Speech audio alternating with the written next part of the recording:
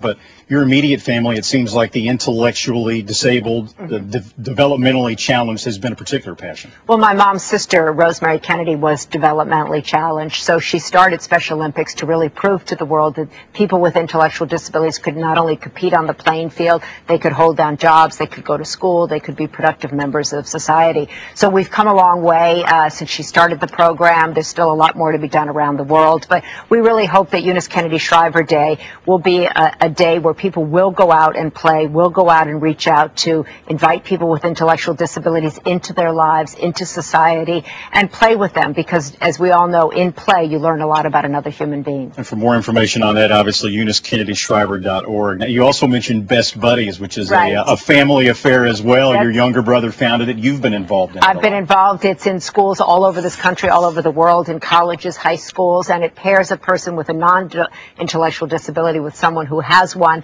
And they go out, they go to the movies, they learn a lot, they become part of each other's lives because one of the biggest issues facing people with intellectual disabilities is that they're not included in the everyday activities that all of us get to take for granted, and they're also not employed. So Best Buddies seeks to kind of break down the barriers in both of those areas know, Tom Brady of the Patriots also very involved. active, very, very active. He has a football game in, in Boston. They have a ride down to Hyannisport. He's been a great champion and a great friend uh, of Best Buddies. You mentioned how important sports is to your family. I mean, you hear all the legendary stories about your uncles JFK and Bobby and Teddy playing football on the Hyannisport lawn. You had mentioned that your mother actually played tackle football Yeah, with the did. boys at times. Did, did you Yeah, ever get in there yeah, and mix she, it up? She uh, raised me playing tackle football, and it wasn't until I got into college that I realized that that was kind of weird.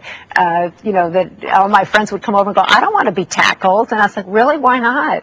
And uh, but she she believed that women could do everything that a man could do, and so she raised me that way. So I'm really thrilled that this day, in honor of her, uh, we need a day in honor of a woman and a woman who who fought for change, who was a warrior for change, and who really did accomplish her goals.